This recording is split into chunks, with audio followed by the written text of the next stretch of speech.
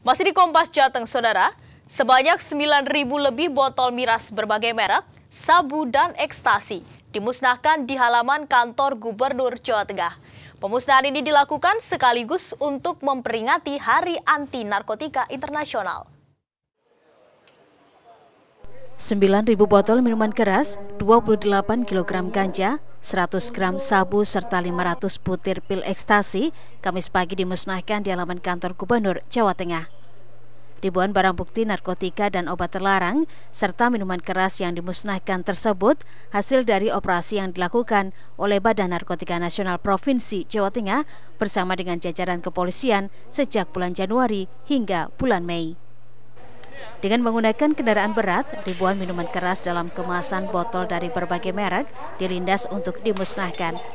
Selain itu, barang bukti ganja, pil ekstasi serta narkotika jenis sabu dimusnahkan dengan cara dibakar dalam tabung insinerator. Meningkatnya peredaran narkotika di Jawa Tengah karena masih longgarnya pemeriksaan di lajur tol Jakarta menuju ke Surabaya. Untuk itu, Gubernur Jawa Tengah Ganjar Pranowo meminta kepada seluruh jajaran kepolisian dan Badan Narkotika Nasional Provinsi Jawa Tengah untuk mengintensifkan pemeriksaan di lajur tol menuju ke Jawa Tengah. Tapi hari ini peringatan kita adalah jalan tol.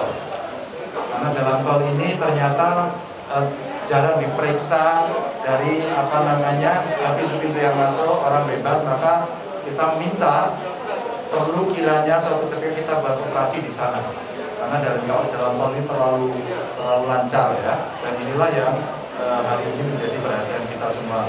Mudah-mudahan uh, dalam peringatan Hari Anti Narkotika Internasional ini kita semua uh, dibangunkan dari tidur. Jumlah itu tidak kecil tadi beliau sampaikan. Artinya banyak potensi yang akan terus diserang oleh mereka dan kita selalu waspada. Saya menyampaikan terima kasih Momen pemusnahan barang bukti minuman keras, ganja, dan ekstasi ini diharapkan bisa menjadi momentum bagi semua pihak. Aparat penegak hukum di wilayah Jawa Tengah diminta untuk bahu-membahu dan bersinergi dalam memerangi penyelundupan dan peredaran gelap narkotika yang semakin canggih modusnya. Heri Widodo, Kompas TV, Semarang, Jawa Tengah.